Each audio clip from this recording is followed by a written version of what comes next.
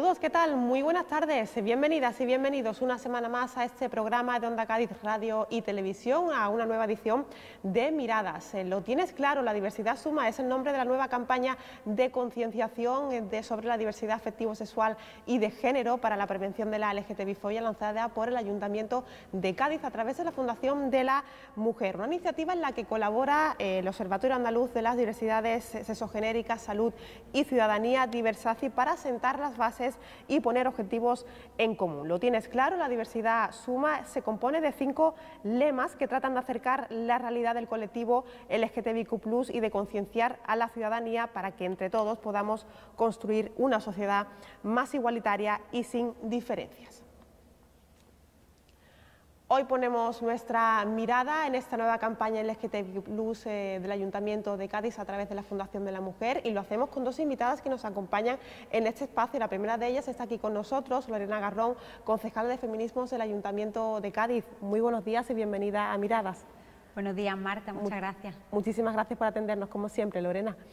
Nueva acción municipal a través de la Fundación de la Mujer que pone el foco en la diversidad, en la igualdad de trato y oportunidades para este colectivo, para estas personas LGTBIQ+, y además que se enmarca en el primer plan municipal contra la LGTBI-fobia de la ciudad. Lorena, cuéntanos. Efectivamente, para nosotras, bueno, pues es fundamental seguir trabajando eh, bueno, pues la consecución de los derechos de las personas LGTBI y bueno, lo que veíamos es que había que darle también una visión exterior, ¿no? Que la sociedad, bueno, pues conozca qué es lo que estamos haciendo y conozca precisamente cuál es la realidad del colectivo LGTBI, pero bueno, hacerlo en positivo. Eh, queríamos hacerlo en positivo eh, porque creemos que efectivamente eh, a día de hoy pues se siguen dando un montón de, casos de bullying, se siguen dando agresiones muy fuertes y además en el último tiempo con, más fuerza el, colectivo LGTBI, los datos de, de desempleo, sobre todo en el colectivo trans, es muy fuerte, pero no queríamos dar esos datos en negativo, que los tenemos que tener presentes, sino hacer la campaña en positivo. La diversidad suma, porque creemos que la diversidad es un elemento de la sociedad que es fundamental, que es hermoso y que tenemos que seguir fomentándolo. ¿no? ¿Qué líneas o, qué pasos, Lorena, se plantean en esta campaña nueva de concienciación LGTBIQ+, a qué sectores ¿no? se pretende llegar de la, de la sociedad? Cuéntanos. Bueno, pues por una parte la idea es que obviamente toda la sociedad en general pues, pueda ver estos carteles, pueda ver estas imágenes y pueda participar de los proyectos, programas y acciones que, vamos a hacer. Pero especialmente nos hemos querido dirigir a la infancia y a la juventud porque creemos que precisamente son edades que son eh, bueno edades de tránsito eh, con, con elementos que son diferentes al resto de, edades, ¿no? En el sentido de que pues los niños, las niñas, las niñas y los adolescentes están en momentos en los que empiezan a conocerse, empiezan a conocer qué les gusta, qué les llama la atención, empiezan a, autoconocerse, a ver cómo es su cuerpo, eh, cómo sienten y bueno, pues creemos que es un momento muy difícil en algunos casos porque muchas veces no saben ponerle nombre a lo que sienten o a lo que son, ¿no? Entonces, bueno, pues la idea es seguir un poco, continuar el hilo del curso pasado, llevando precisamente no solo la campaña, sino un programa eh, dentro de, los colegios y dentro de los institutos. Pero después, bueno, pues como veis en, los carteles, la idea es precisamente enfocar también la campaña en, otras eh, edades y en otras instituciones, digamos, de, la sociedad, ¿no? Pues como son las personas mayores, eh, sobre todo con el tema del COVID, pues nos dimos cuenta de que efectivamente personas mayores LGTBI en muchos casos están, se quedaron muy aisladas. Em, y entonces, bueno, pues queremos también reflejar que existe esa, esa realidad y que no solo tenemos que respetarla, sino eh, celebrarla, ¿no? Y obviamente, bueno, pues con el colectivo trans, una de las cuestiones que creemos que son más importantes es el tema del, empleo, o mejor dicho, el desempleo, y por tanto, bueno, pues hacer también hincapié en ese espacio. Y una última, digamos, un último espacio que es el de la familia, ¿no? Necesitamos eh, reflejar que las familias son diversas, que ya la familia eh, clásica que teníamos en la cabeza pues eh, sigue existiendo, pero junto con otros modelos de familia muy diversos, muy diferentes, y como digo, igualmente, que no solo hay que respetar, sino que hay que celebrar, ¿no? En definitiva, se pretende ahondar ¿no? un poco más en esa realidad de las personas LGTBI, no solo en Cádiz, sino en todo el mundo, ¿no? porque se dan, eh, pues desgraciadamente ¿no? y lamentablemente, casos de discriminación, rechazo, violencia, de incomprensión también por parte de la sociedad, este colectivo. También es muy importante ¿no? Eh, hacer ese mensaje, trasladar ese mensaje a la sociedad, ¿no? para que estas personas no se sientan incomprendidas ¿no? también. ¿no? Efectivamente, nosotros el año pasado cuando pusimos el programa de Centinelas por la Igualdad en los institutos, una de las cosas que nos decían las compañeras con las que trabajábamos es que ellas habían detectado que uno de los mayores problemas que, tenían eh, los adolescentes LGTBI eh, pues eran precisamente que no se sentían aceptados, que no se sentían respaldados, que no se sentían, bueno, pues eh, al final comprendidos ni por sus profesores, ni por sus compañeros y compañeras, ni por su familia. Em, eso, es una barbaridad, o sea, es una barbaridad ver como, como niñas de 13, de 14, de 15 años, eh, en una edad en la que todo debería ser maravilloso, en la que la vida debería eh, ser feliz, pues no se sienten comprendidos y por tanto llegan a un momento de infelicidad, de incomprensión y de aislamiento. ¿no? Em, eso pasa también en, en otras edades. Necesitamos desterrar esa, esa idea, necesitamos pues que las personas eso, pues sean felices. Y es que yo creo que esto va de eso, ¿no? Que la política eh, a todos los niveles, pero en este caso municipal, va de eso, ¿no? De poder eh, hacer que los vecinos, que las vecinas sean cada vez más felices, no tengan unas vidas plenas, unas vidas completas, unas vidas eh, con el menor de los problemas posibles mm. para que puedan ser felices. ¿no? Creo que ese al final es el mensaje clave. En esta acción, eh, Lorena, colabora Diversacis, este Observatorio Andaluz de las Diversidades Exogenéricas, Salud y Ciudadanía, recientemente constituido, ¿no? que aboga por eso precisamente, por la diversidad, por la igualdad de derechos entre las personas, ¿no? especialmente eh, en estas personas LGTBI. ¿En qué línea estáis trabajando conjuntamente con, la UCA, con Diversaci? Cuéntanos. Bueno, por una parte, eh, mm, quiero agradecer enormemente a, las compañeras de Diversaci porque la verdad es que... Mm, precisamente una de las cuestiones que me parecen fundamentales es tener datos de la realidad que tenemos y conforme a esos datos poder trabajar las acciones, los programas, los proyectos.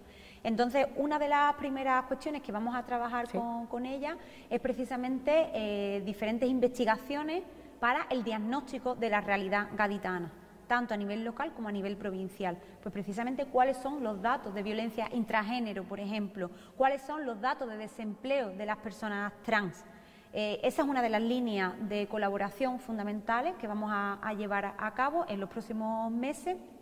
Y después, por otra parte, otro de los elementos fundamentales es la formación, formación especialmente al funcionariado del ayuntamiento, pero con hincapié sobre todo en la policía municipal, porque eh, precisamente con respecto a las denuncias que la gente tiene que hacer, debe hacer, eh, son ellos y ellas las primeras que reciben esas denuncias, las primeras que reciben a esas personas. Entonces necesitamos que eh, la Policía Municipal conozca cuáles son los protocolos, conozcan cómo se hacen las denuncias, conozcan cuál es la realidad LGTBI, precisamente para que puedan atender a la ciudadanía de la mejor forma posible.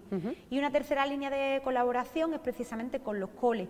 Em, pues mm, mucha gente se acordará que hace tiempo pues se pusieron en marcha eh, la red de, colegios públicos por la paz, ¿no? Y bueno, pues tuvo muchísima repercusión, eh, la mayoría de los colegios se sumaron y la idea es poder hacer lo mismo precisamente con el tema LGTBI, ¿no? Crear una red de coles arcoíris eh, donde poder llevar formación a los coles, información, actividades y donde bueno pues se puedan aplicar los protocolos que por ley tienen que aplicarse y por tanto digamos pues que se conviertan en coles arcoíris, ¿no? En colegios pues que sean espacios seguros, que respeten la diversidad y que además la fomenten.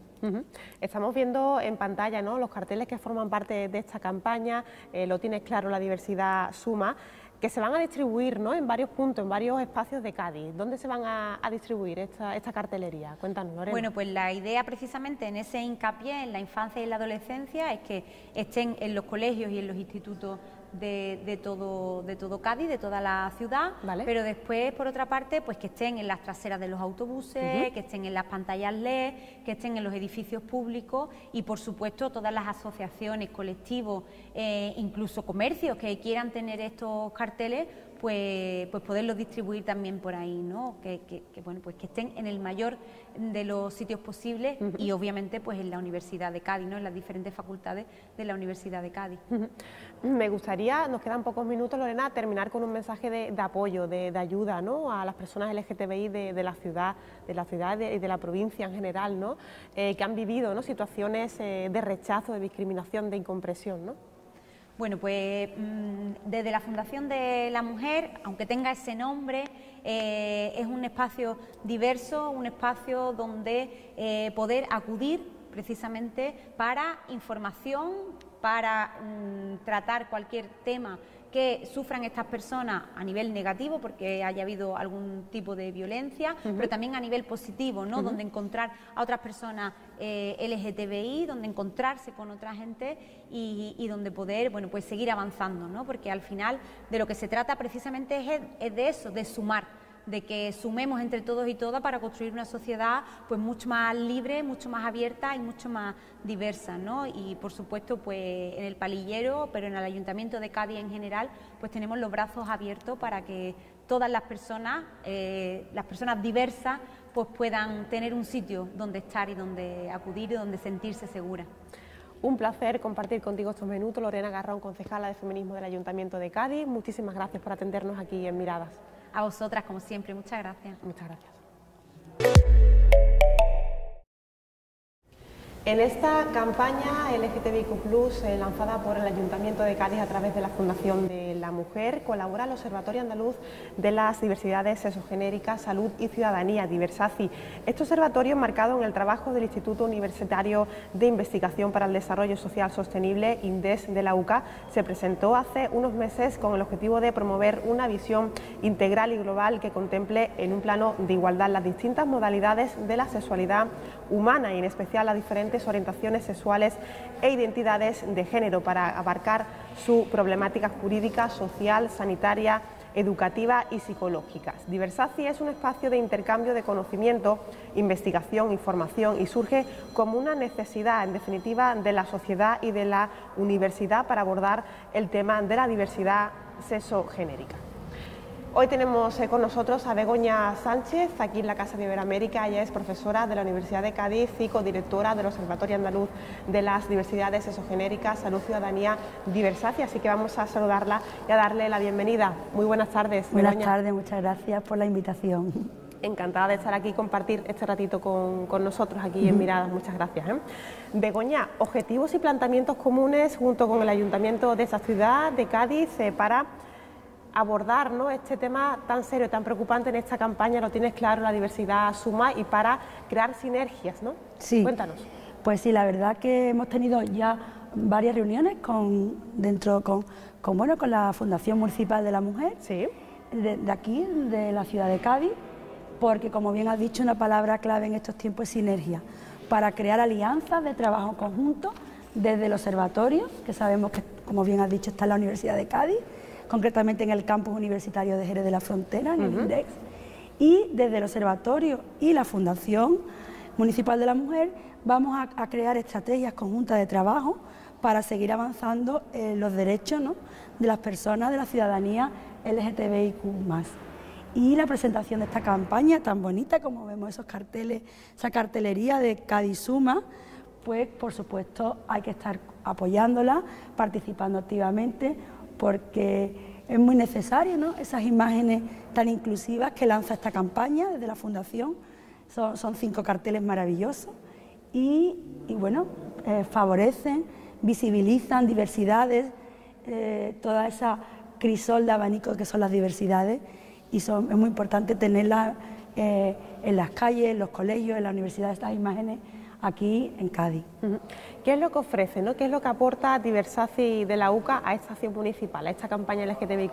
Pues, eh, como hemos comentado anteriormente, desde el observatorio eh, estamos realizando muchas, estamos centrados en, investigaciones, porque estas campañas, que bueno, muchas personas somos conscientes de que son necesarias, pero eh, pensamos que para dar más rigor, para avalar esas intervenciones es necesario previamente, esas investigaciones que diagnostican, que, que retratan, cartografían los momentos sociales que estamos viviendo sobre los temas de los derechos LGTBIQ en muchos ámbitos, en el ámbito educativo, laboral, el espacio público en el, y por supuesto psicológico, todos los ámbitos.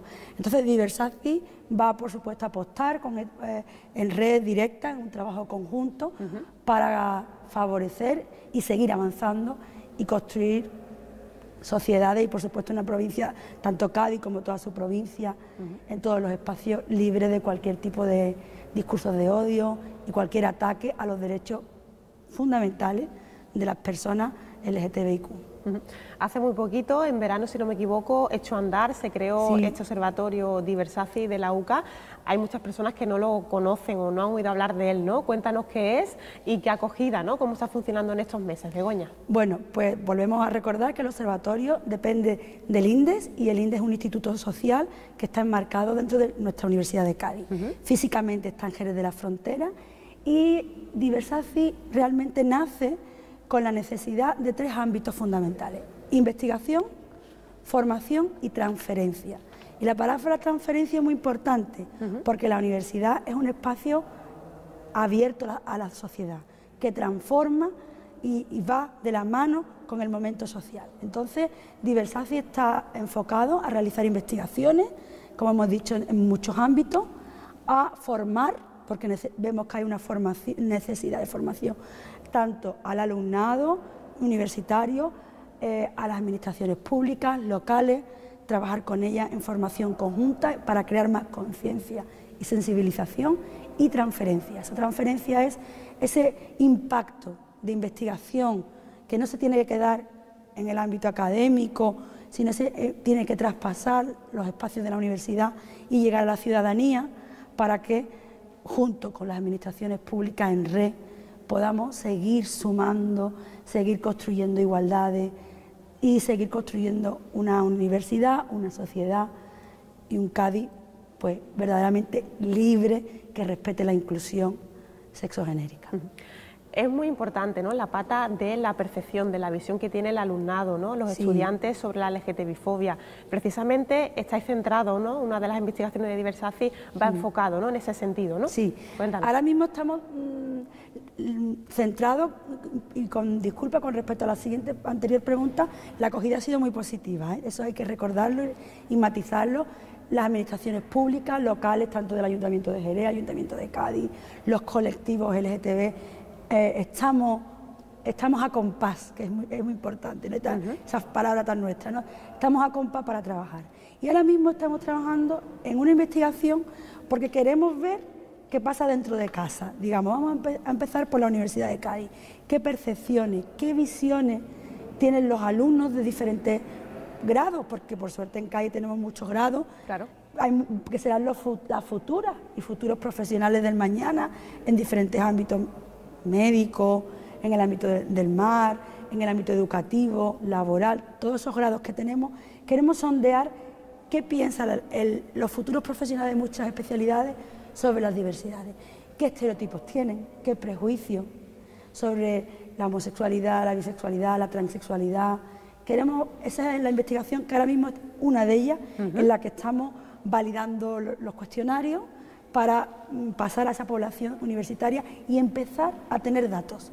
Que esos datos nos van a ser la brújula para saber por dónde tenemos que intervenir y dónde tenemos que ir, empezar a ir trabajando. Sin duda la, UCA, ¿no? la Universidad de Cádiz, continúa con ese compromiso institucional de luchar contra todo tipo de discriminación y a favor, por supuesto, de la diversidad eh, afectivo-sexual y de género. ¿no? Eh, ¿Considera o crees que es necesario que las administraciones públicas, que la comunidad educativa en general eh, apuesten por, todo, por todo este, en este sentido, eh, por ese reconocimiento, visibilización y sensibilización en, este sentido, en esta materia, Begoña? Sí, creo que tiene que haber desde las administraciones públicas en red directa con las asociaciones y además de una manera inter, digamos, de, las diferentes delegaciones, porque es importante que todas las delegaciones municipales tenga de una manera transversal esa perspectiva de tener presente en sus agendas el tema LGTBI, porque es importante, por ejemplo, desde el ámbito educativo, la delegación de educación, la delegación incluso municipal de fiestas, para evitar que las fiestas sean espacios donde haya agresiones, que sean espacios seguros, la delegación, por supuesto, de la mujer, que tiene en el Ayuntamiento de Cádiz el primer plan LGTBI, que esto es un, hecho histórico, ¿no? que desde la ciudad de Cádiz se tenga un primer plan específico para trabajar esto. Las administraciones públicas tienen que estar totalmente comunicadas para trabajar esto, porque es un trabajo inter, hemos dicho, de diferentes delegaciones, donde la administración pública tiene que respaldar y tiene que, y desde abajo, desde los colectivos, exigir políticas públicas que sigan avanzando en derechos LGTBI, desde todos los ámbitos. Estáis también centrado en otra investigación también importante e interesante desde Diversaci, ¿no? que es enfocado a esas personas, ¿no? LGTBI, eh, a este colectivo, aunque no nos gusta llamarlo así, a esta, dirigida a estas personas en todos los ámbitos, ¿no? social, jurídico, educativo. Cuéntanos un poquito más. Sí, otra de las investigaciones que queremos centrar, no solamente la, la anterior dentro del ámbito universitario, es a las personas LGTBI. Queremos preguntar aquí en la provincia de Cádiz cómo cómo han sido sus procesos en todos los ámbitos, en el ámbito educativo, si la escuela le ha, dado respuesta o ha respetado su, identidad de sexo genérica, si han tenido traumas, en el sentido no por ser una persona LGTBI, perdón, que eso hay que matizar siempre, los traumas siempre están producidos por la LGTBI-fobia, no por ser una persona transexual, está producido por la transfobia social, cuidado.